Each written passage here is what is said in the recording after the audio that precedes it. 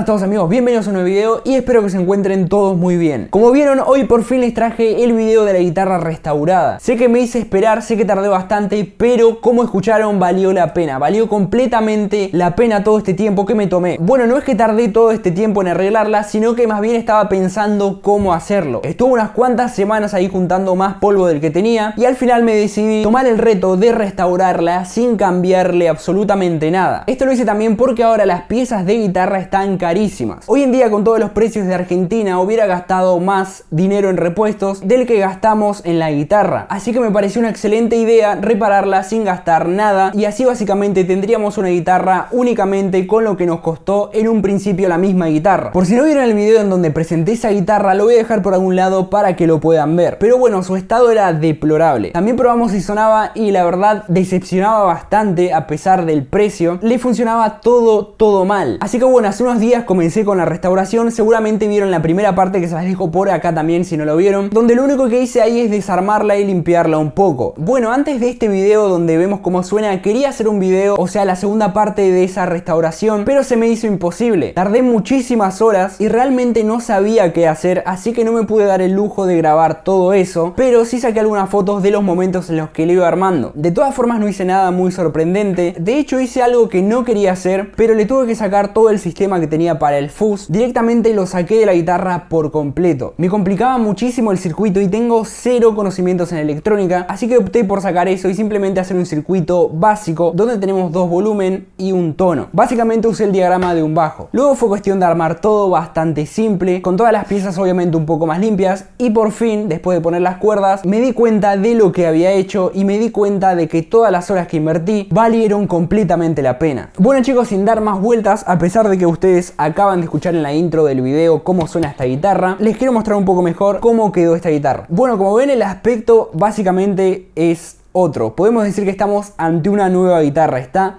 excelente como ven, todo volvió a relucir, limpié todo muy bien la verdad, también por este lado el clavijero quedó bastante bien. Bueno, ahora en cuanto al sonido, me sorprendió muchísimo la calidad que logré y también la afinación, que es un tema muy importante, pensé que iba a estar completamente desafinada, pero ahora les voy a mostrar que no fue así y la guitarra está 100% funcional, podría tranquilamente ir a mi iglesia y tocar con esta guitarra. Pero bueno, en fin, les comento cómo fue que hice la instalación. Como ven no hay selector de posición de micrófonos, o sea, los dos suenan a la vez todo el tiempo, pero lo que sí tengo es un volumen independiente para cada uno. Por ejemplo, si bajo todo este volumen y subo este, tengo funcionando únicamente el micrófono del puente, el cual suena así.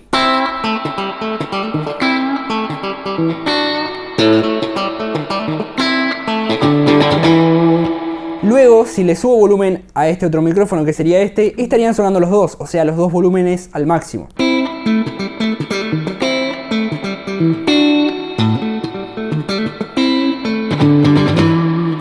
Y luego, si bajo este micrófono, que sería este, tengo sonando solo el micrófono del mástil.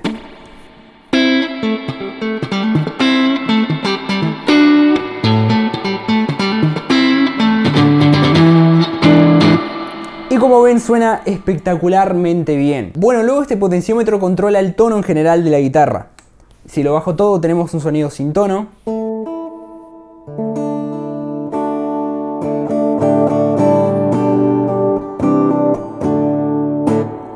Y si lo subimos, tenemos nuevamente el tono.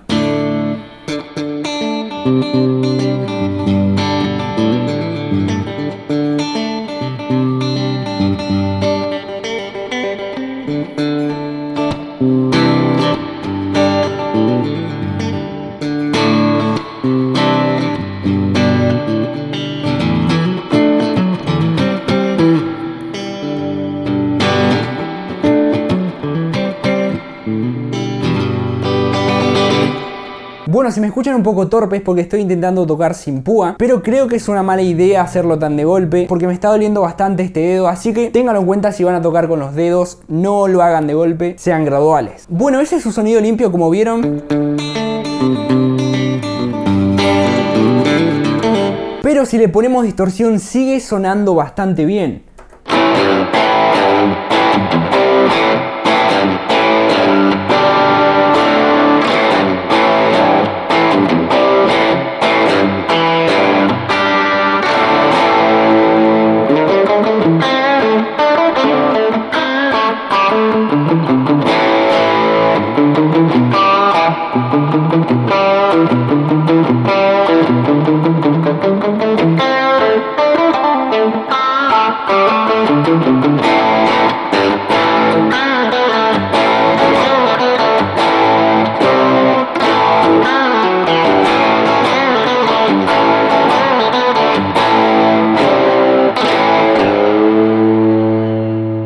Bueno, como ven suena bastante bien y ahora vamos a probar el sustain que también es un tema que les interesa muchísimo. Vamos a seleccionar este micrófono y vamos a ver qué tal el sustain.